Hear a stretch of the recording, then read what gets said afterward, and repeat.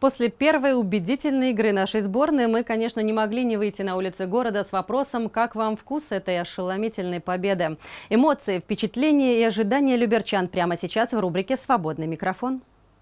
Блестящую победу со счетом 5-0 одержала наша команда на первом матче чемпионата мира по футболу. Вся страна переживала за российских футболистов, и они не подвели. Мы решили узнать у люберчан, а смотрели ли они футбол. Вы смотрели игру России с Саудовской Аравией? Еще бы, удивительно. Вообще превосходно. Наши оправдали все надежды. Доверие оправдали. Естественно, смотрел, как и любой россиянин, который любит свою страну. Конечно, смотрел. Это э, народная игра, поэтому, наверное, вся Россия смотрела. Тем более чемпионат проводится в нашей стране впервые в истории, поэтому, конечно, смотрел.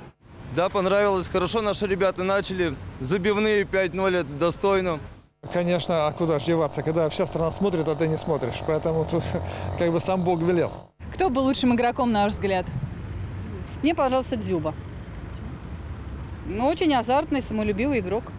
Да много, все, в принципе, команда хорошо. Но хорошо, конечно, Головин сыграл. Вот, и Черешев.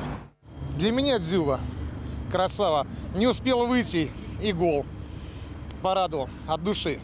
По объему работы мне очень понравился Головин. Вот тот, кто автор последнего гола со штрафного. Был лучшим игроком вратарь Акинфеев.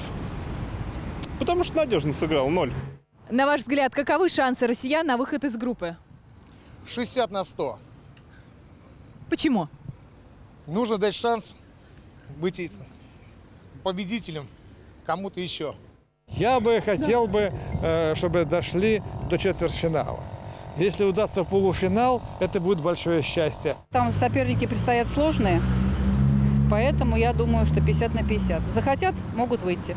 Шансы есть, но определяющий, конечно, будет и, и Египет. Вот. Как они, как этот матч сыграется, так и оно и получится. Десять лет мы ждали такого успеха, но расслабляться не нужно. Впереди нас еще ждет две игры с сильнейшими соперниками. Мария Кузьмичева, Петр Пономаренко, телеканал ЛРТ.